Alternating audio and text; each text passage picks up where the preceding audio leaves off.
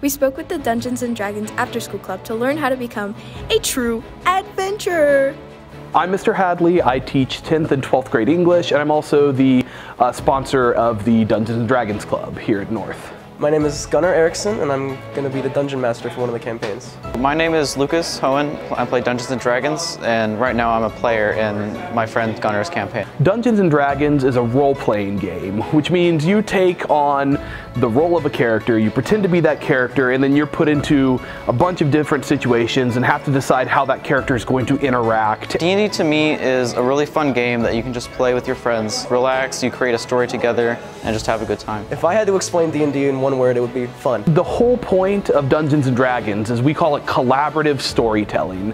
So it means you and a group of people, your team members, are all working together to do something. It could be anything, but you're working together to do it. It, it has to be collaborative. How it works is that everyone kind of strategizes together, plans out what we're going to do, and then you roll numbers to figure out whether or not it actually works. Anyone can participate in D&D. It's pretty open-ended. Skills, you just need to be have like creative, open mind, probably. If you're a dungeon master, which is the person who runs the game, you just need to have good storytelling skills. The only skills you need is to be able to do addition and subtraction and social skills. We meet every Tuesday after school in the Media Center from 3.30 to 5.30. We love new players. Everyone is welcome to come, whether you've played D&D before, you're a veteran, or whether you watch Stranger Things and want to fight Vecna. We are here for anyone who wants to play. People should join D&D because it's a really good experience to have. We welcome new members all the time at the D&D club. Joining D&D is a good way to get to know new people and just have fun with them. We are currently welcoming new members. In fact, one of the campaigns we run is almost entirely for new members.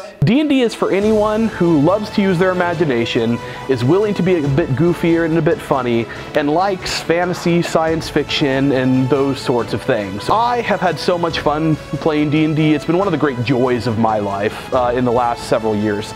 This has been Avery and Regina reporting for BNN.